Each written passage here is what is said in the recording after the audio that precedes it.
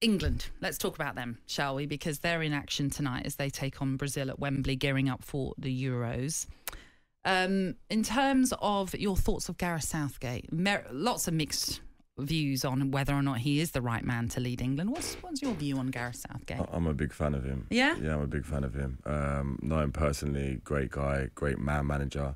Um, I think what he's done with England's amazing. You know, I know everyone's talking about trophies and everything, and hopefully he will get his trophy this summer. But for me, he's, he's, he's done incredibly well, and I love the fact that he stood by so many players during during difficult times. And Harry Maguire is a, is a, is a, an obvious example for me. Yeah, Uh, it's amazing. I was saying to Natalie earlier in the show, Stephen, that I had a friend who was criticising Gareth, and I said to him the line, "Well, what about if they win the Euros? Don't matter. They should have won the previous Euros and World Cup."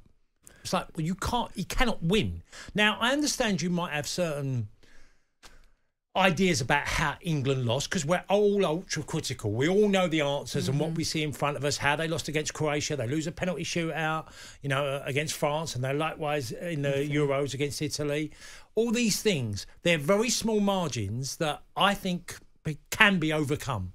I, I agree. I mean, pen, for me, penalty shootout is, is pot luck. You know, like it's 50 50 which way it's going to go. So I think to have got England to that stage where they're, they're narrowly missing out um, in, in, the, in the previous two tournaments for me is, is unbelievable. And, I, and, and also, I think that if you remember where he started from, where England were when he took over, Yeah. um, I mean, I know because I was involved, you know, back then. Yeah, we, yeah. we were a long way from, from winning World Cups and Euros. So the fact that we're, you know, headed into this tournament possibly as favourites or at least one of the favourites, I think shows, uh, you know, the, the good progress that he's made. So, okay, have I asked you the opinion of England outside of England? Because I mm-hmm. know only from people I've spoke to, they all think England have got a fantastic side now. They all look at England and think they're the ones to beat. Now, would you say the same of being, because you've obviously been in Turkey, you've been in Spain. Everyone, everyone looks at England as a, as a really, really good side with really good players, and I think everyone's aware of what England are capable of doing. They just need to do it. You know, that's that's that's ultimately what it comes down to is getting it across the line. You know, come this summer. But I believe they will, and and I, you know, I just said I love I love the way he handles uh, the team. I love the way he handles the pressure. Um, I said for me, he's a top manager, and I think that people don't quite realise what we have right now. You know, because there's always expectations as fans, right, that you should win every single tournament, every single game. But um, that these things take time, and he's had a lot of time. I, I do agree with that. Um, but let's just let's just see this summer. Let's get behind the boys, um, focus on the absolute incredible talent that we have nowadays, and uh, let's let's see what it brings. Obviously, it's June the seventh is when he has to. Um, what I'm trying to say, uh, give in or not give in. Squad. Yes. What's the word Announce. I'm trying to say? Announce. Yeah. Submit. Submit is the word I'm trying to say. Submit the squad to UEFA. Goodness me. You see, the extra hour does affect Yeah. us. Um, that's the problem. Yeah. June the 7th is when he had to submit his final squad for the Euros. Now, we're not going to see Harry Kane tonight because he is injured. He might not even play against Belgium on Tuesday. There's also no Cole Palmer. There's also no Jordan Henderson for tonight. As we know, Bukayo Saka is out of the squad as well through injury. So there's a few issues for him to contend with. And maybe Cole Palmer not, might not be directly one of those that would hmm. necessarily be in that starting 11. But in terms of you, if we're going for a striking option, who would you be picking tonight? Tonight, Ollie Watkins. Yeah. Yeah, absolutely. Yeah, I think Ollie Watkins is is the most uh, well, aside from Harry Kane, he's the most informed England striker. So for me, I've got Ollie Watkins. I think he's done incredibly well uh, during his time at Aston Villa. He's gone from strength to sh- strength to strength this season. He's been he's been amazing. Um, I would love to see him wear the shirt tonight. How many of the present England crop were in the squad when you were there, Stephen? Is there many? Not many at all. No. Um, you put me on a spot. I can't think of it. Kyle Walker. Kyle Walker. I was going to say, I wondered. I was thinking if you went back as far, probably Harry, You'd just missed. Yeah. Y- Harry? No, I wasn't in the same England No, squad with him. No, no, I, came, just I, came. I came through with him at Tottenham. We were, we were in the same youth team together. Um, Because Weekly went on loan to Millwall and and Norwich and things like that. I mean, you know, Harry's as a player is the perfect example of how you can improve. No, absolutely. He's, he wasn't one in our youth team who I thought was, was going to probably make it to the Premier League, in all honesty, and never mind make it to the Premier League. You know, he's gone on and taken the Premier League by storm uh, and the Bundesliga now as well. So he's someone who's uh, improved so much, but that's down to his, his work rate. Like he was so focused even back then, so dedicated, and um, really happy to see him uh, reaping the rewards for that. Good. We've had um, Gerard Piqué in Talksport this week, and he was asked the question about the best defender, uh, English defender that he uh, played with or against. Let's just hear what he had to say on that. for me, when I arrived there, for me, he was the guy to, to really see what he's doing, to learn from him. To he gave a lot of advice at that time that was very good for me. Um, so yeah, I consider him also. Some people they say John Terry.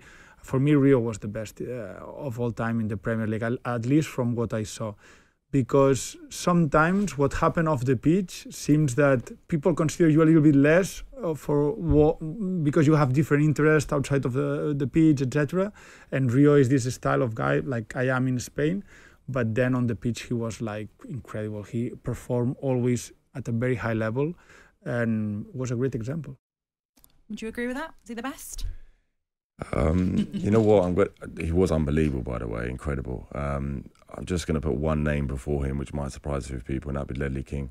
Yeah, for me, yeah. Ledley King, if if he was able to stay fit, um, he was he was just unbelievable. You know, the fact he only trained one day a week and would go out on a Saturday and get MOM, he was he was something else. Sher- Sheringham says the same same thing about Ledley Ledley. King. Yeah, and um, loads of Tottenham players I have known over the years speak about Ledley. He was basically as much as Paul McGrath with Ireland. His knee injury was probably even more severe than Paul Yeah. because he played games and he clearly wasn't fit, but he Mm. stood out every time he played. Yeah, he was unbelievable. But but Rio, a very very close second. Yeah. Um, unbelievable player. Fortunate enough to to play with him towards the end of his career at QPR. Um, Mm. Great guy on and off the pitch. A real leader, I imagine. Yeah, he's certainly a leader. Yeah, and like Piqué said there, he's got a lot of interest off the pitch. You know, he's a businessman, entrepreneur. You know, he's got so many things juggling at once. Um, but yeah, I mean, you know, during his time at United, he was he was unbelievable. Uh, and in terms of your preferred centre back partnership for England, would you be able to, I mean, we've got, I'm just looking at the squad now. You've got obviously Harry Maguire, John Stones, uh, Lewis Dunk's in there, Jarrad Branthwaite's been called up, uh, Ezri Konsa can, is a bit Yeah. versatile in that defensive lineup as well. Um, would it be a Harry Maguire, John Stones? Is that the first choice? That'd be the first choice. Yeah, I would like. I mean, I, I'm a big fan of Dunk as well. I think he's he's another top player. So good, on, so good on the ball as well as he's shown at Brighton. Um, in terms of like this evening, I'd like to see Jarrad given a, an opportunity. You know, I think he's done really well at Everton this year. He's he's a young player coming through, and um, I would like to see him given an opportunity. If not tonight, then then hopefully in the next game. I mean, that's ultimately what these next couple of games really should be about. I imagine Yeah. the June friendlies will be a bit more honing tactical, let's say. Maybe, maybe, yeah, not, maybe less. and avoiding injury as yeah, well. but the next couple of games, this is when you really want to try try things out. You imagine from an England perspective. Yeah, certainly Southgate will be looking to see who he can who he can count on. I mean, he's someone that you see him regularly at Premier League games, so I'm sure he's watching you know every every game around around the world. To be honest with you, to, to see who's who's performing, who's in form, who's out of form. Um, but I don't think he actually tends to pick players based on form. You know, if, if I'm honest with you, he, he picks players that he trusts and players that he knows. You know, as I said, I used the Maguire example earlier, and that that was a good example. He trusted in, in Harry. He knew uh, what he was capable of, and, and Harry repaid his favour every time he played for England. He was it was incredible. You know, he was having Yeah. a tough time at United, but he he, he trusted in him. So I'm not 100 percent sure Southgate picks players based on form. Um, I think he, he picks players that, that he trusts and, and that, that fit his style of play. A bit in this period, it's always important how training goes, as in, you know, the group and settling, mixing in, and just getting the feeling right within the camp. It's really important because you, when you get to Germany and you'll have three weeks build up, and there's a lot of things that happen in tournaments. People get injured. We lost two or three going to World Cup '94. I was one of them. Got injured in the build up. Um, you know, and so you're very conscious about the build up to everything and how they're settling in around. Of course, the games are the most important, but it's not all the be all and end all. It's Yeah. just trying to find partnerships and people that you feel joined together much better in the team. Mm. I mean, that's why. Listen, you never want a player to be injured, but with the with the fact that Harry Kane can't play tonight, it just gives that opportunity to try out somebody else from a starting position rather than bringing them on. I don't know, twenty minutes, fifteen minutes to go in a game where you might be chasing the game or whatever it is that has to be done. So yeah, be No, interesting. I agree, and I, and, and well, let's make one point clear. I think he he wants to win every single game. Yeah. The, the whole England squad do. You know. Mm. um, momentum is so important in football. So the opportunity to to go and get a win tonight, um, you know, puts them in a good position to to build build some momentum ahead of the, ahead of the tournament. Imagine from one of them boys could make their debut against Brazil. Oh, I It don't come any it's better quite than that, nice, does Yeah. actually. Don't come any better. When you say it like that, yeah, right, it's quite special. That's, what's your first game? Oh, Brazil. At Wembley. At Wembley. Yeah, it was all right. Yeah. Yeah, thanks. Yeah, did all right.